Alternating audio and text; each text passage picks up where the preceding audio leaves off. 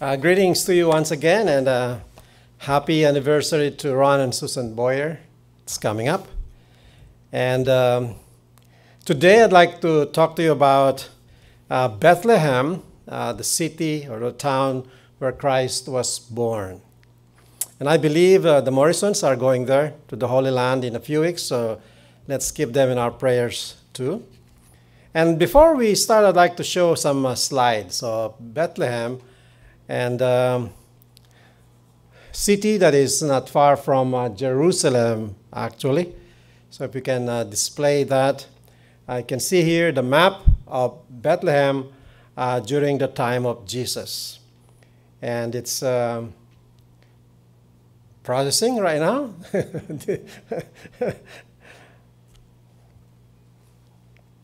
okay, so you see the map over there. I can see it also the map below here. As you can see, uh, Bethlehem to below there is it's kind of just uh, a little below of uh, Jerusalem, but it's down there. It's a you know sleepy town actually. Let's go on to the next slide. Now, when we went there, uh, before we went to Bethlehem, we went to this church, uh, you know, where they feel that where the shepherds were, you know, close to Bethlehem. And in fact, while we were there, uh, the church with the shepherds, uh, you know, they have this church. The uh, tour guide says, over there, you know, pointed us is uh, Bethlehem, that area, kind of showing us where, where it is. And maybe the shepherds were looking at the star at the time uh, so from this area that you can see that church um, where the shepherds they thought were. Let's move on.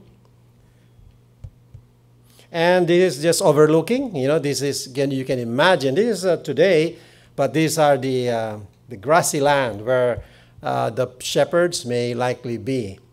Um, it's still grassy that area, kind of outside the area. Let's move on.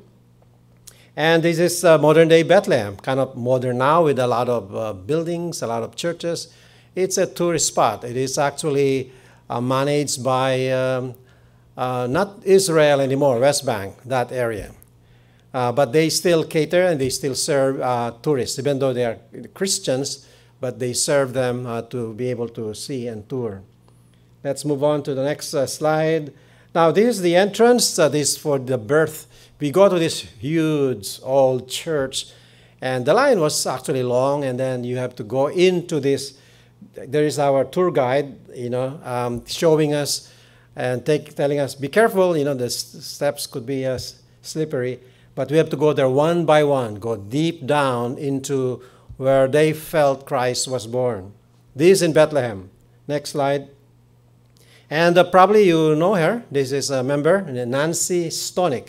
And so she paused and took a picture. That's the place, you know, with on that floor, that's the place where they thought Christ uh, was born. Move on. A, uh, another picture of that. Let's move on to another one. And uh, this, uh, I, I got this from Google, but this where there are no people. And so you kind of step down, you know, from that top, you go down the steps and then you, you go up. And when we were down there, there was another group and they were singing songs, you know, people are celebrating. And next one. You know, this uh, Bethlehem, and I was looking for the stars, for the star. And I found another star. I thought it's kind of funny. you know, have these stars and bucks, you know, another kind of star in Bethlehem uh, while we were walking out of the uh, church. Now, in Luke 2, verse 4 to 8, let me just go to, I'm done with the slides. Luke 2, 48, Luke 2, verse 4 to verses, verse 8. It says, And Joseph also went up from Galilee out of the city of Nazareth into Judea unto the city of David, which is called Bethlehem. Bethlehem. Beth means house. Lehem means bread, house of bread. Because he was of the house and the lineage of David. To be taxed with Mary, verse 5, his spouse wife, being great with child. And so it was that while they were there, the days were accomplished that she should be delivered. And she brought, verse 7, brought forth her firstborn, and wrapped him in swaddling clothes, and laid him in a manger, because there was no room for them in the inn. And verse 8, and there were in the same country shepherds abiding in the field, keeping watch over their flock by night. And we'll hear more of this story from uh, Pastor Mike as he goes deeper into the story and perhaps things that uh, we didn't fully understand.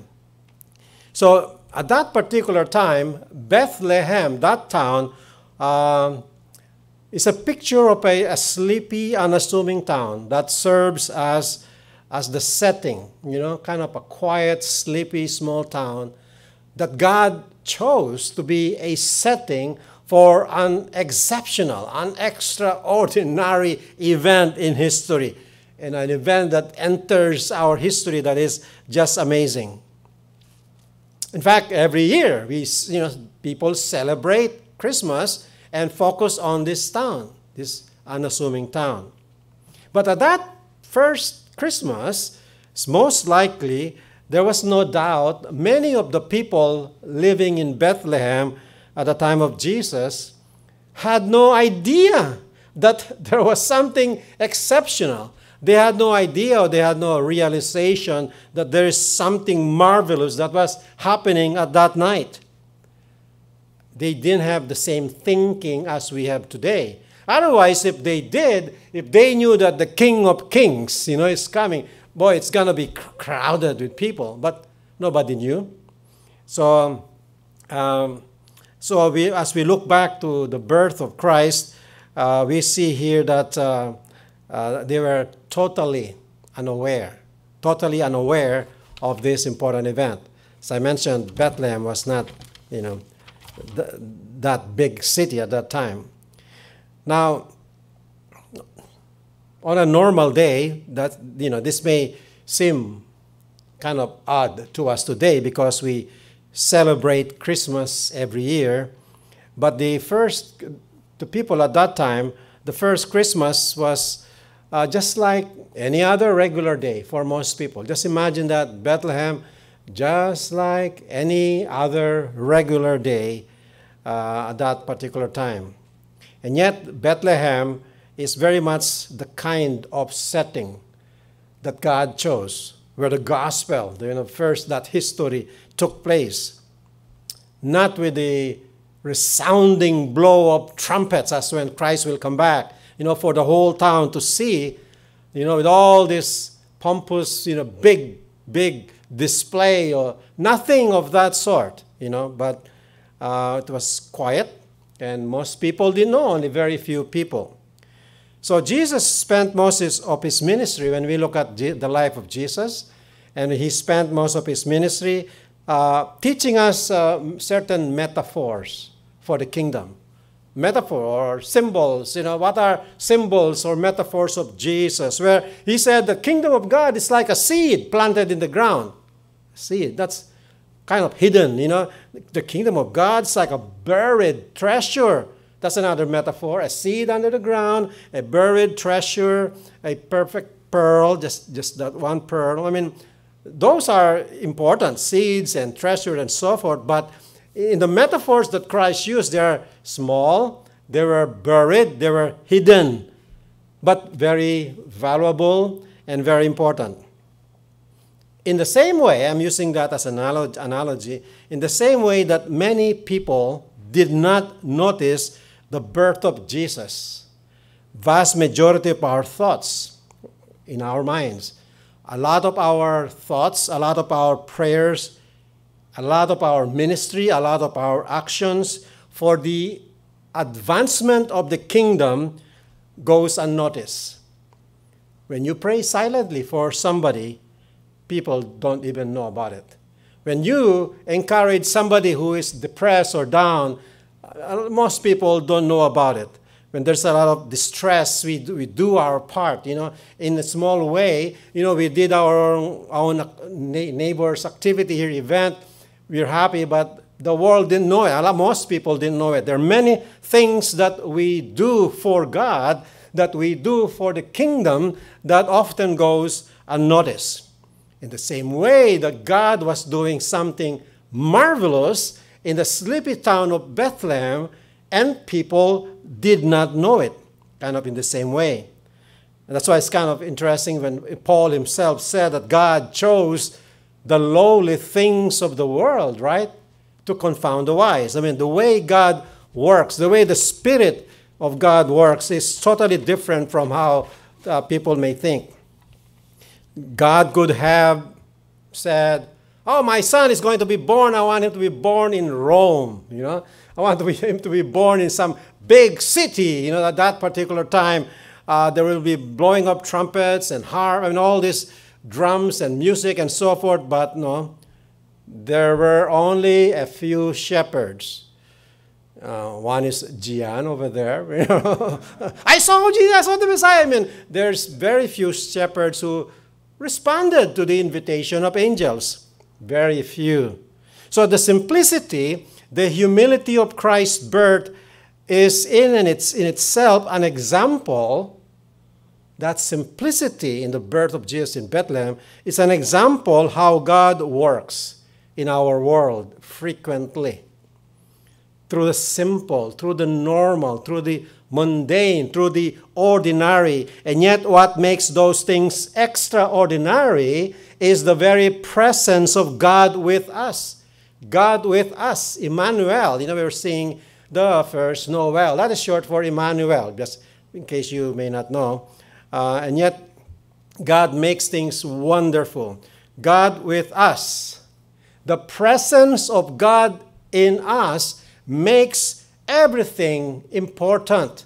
So some of us may think that, you know, we are insignificant, you know, we are nobody. Yeah, we think that way. I think that way. But from the scriptures, understand that you are a special child of God. You are precious. There is a miracle that is happening in you. There is a some kind of maturity. You are growing into the maturity of Christ. So I pray today, as we close, that you and I may take a look at the small, seemingly normal, boring places where God is working and moving. Pray for the Spirit of God to give you eyes of faith that you recognize the work of God in the simple things. Are you open to the passing of God's hand among you? Even others don't notice it. Are you excited with what God is doing in you? Even others don't know it. It's still God. So let's simply take a moment and examine the places where God might be operating in our Bethlehems, in our simple places. Where is it that God is working in your life right now? Stop and reflect. Reflect. And sometimes when we don't stop and reflect, we miss those movements of God, just like a lot of people miss Christ's birth. So ask God to bring forth how He has been quietly working in your life. Pray, God, uh, please show me the Jesus in my Bethlehem. Ask God for eyes of faith, better eyes to see this unbelievable work of God in your life. Amen.